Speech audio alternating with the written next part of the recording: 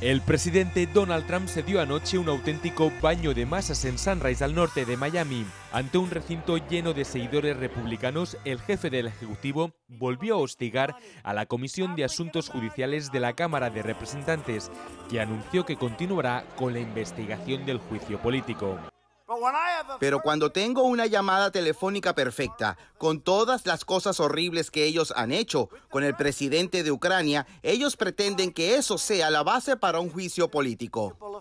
Trump, que viajaba a Florida por primera vez tras cambiar su residencia de Nueva York a este estado, aprovechó también para mostrar su apoyo a los pueblos de Venezuela, Cuba y Nicaragua y aseguró que Estados Unidos nunca será un país socialista.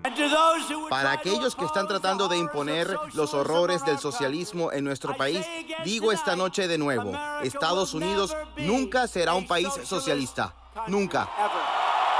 Entre el público había un gran número de latinos que mostraron su apoyo a las políticas de Trump, especialmente para reducir al máximo la inmigración ilegal procedente de América Latina y la construcción de un muro en la frontera con México. No es política dura, él está protegiendo nuestros intereses como americanos. Tenemos que proteger nuestro país para después poder ayudar a los otros países. Tras el evento político, el presidente Trump se dirigió a Mar-a-Lago, donde está previsto que pase el Día de Acción de Gracias junto a su familia. Anthony Belchi, Voz de América, Miami.